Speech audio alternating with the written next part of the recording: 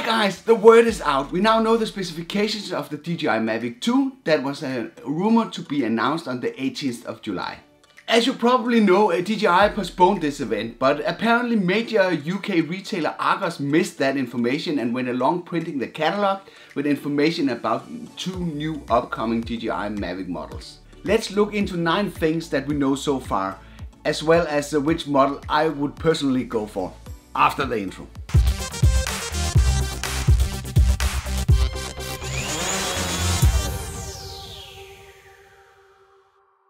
Improve your drone footage by subscribing to my weekly tips, test and tutorials. DJI will release two versions. One version that is called the Mavic Pro 2, containing a 1-inch sensor from the company Hasselblad that they acquired earlier.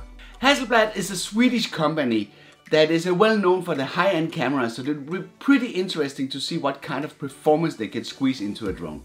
The second one is called Mavic 2 Zoom and will offer 2 times true optical zoom but the sensor will be smaller. Even though this sounds pretty cool, they should be able to do something with the 1 inch sensor version as well, where they uh, introduce lossless digital zoom in a similar way that Parrot did with Anafi. The zoom model offers the vertical or the dolly zoom effect directly out of the box. It's an effect where you zoom in on the object while moving backwards, creating a really nice parallax effect. This looks pretty awesome, but it's also pretty easy to do in post-production. So if you want to know how to do that, then let me know and I will do a tutorial about it. Common for both models are, the live feed has been upgraded to 1080p from previous 720p, but I'm not sure how much effect this will have in real life for those of us that use small screens. Range has been increased to 8 kilometers. This is uh, really not that important. I know this is a factor that many care a lot about, but in most countries you're not allowed to fly the drone out of sight anyway. The number 8 kilometer indicates that the connection between the drone and the controller is really strong when you fly, fly close by. So this is of course a very very positive thing. And I would also assume uh, it uses OcuSync like the previous uh, Mavic Pro version. Max speed has been increased to 20 meters per second and no one understands 20 meters per second. So this equals 72 kilometers an hour or 45 miles per hour, which is pretty fast when you're going back and forward to a location where you need to film. But in general, these high speeds are not very usable for making video. Both models offers omnidirectional uh, sensing with APAS, which uh, I would interpret at least as coverage in the horizontal plane. But it would be a really nice addition if they added a sensor on the top as well for true omnidirectional sensing. The sensor on the top will help if you fly under trees or under obstacles and uh, the return to home is initiated so you, you can provide a collision there. That I would really love. It has a whopping 31 minutes of flight time this probably translates to something between 26 and 28 minutes in real life, but it's still pretty nice and pretty long time to stay airborne on one battery.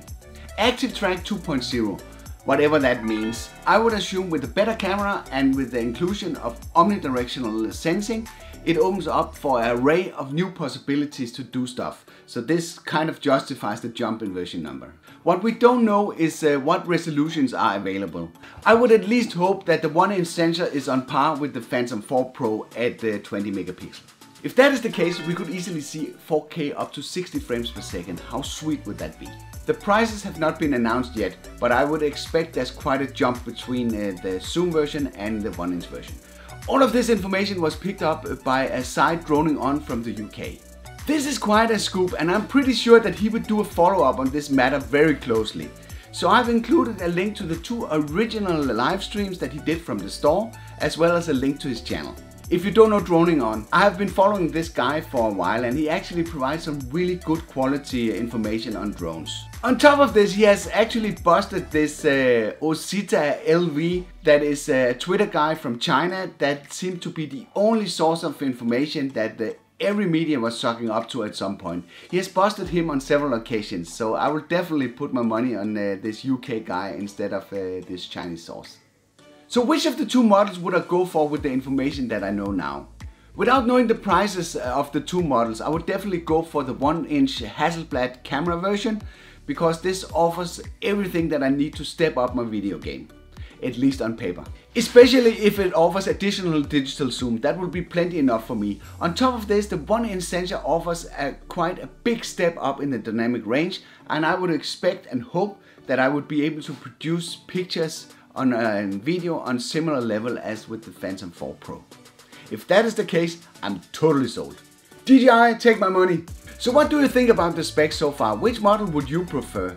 Uh, throw a comment uh, below or head over to the Tech Drone Media Facebook group and let's discuss.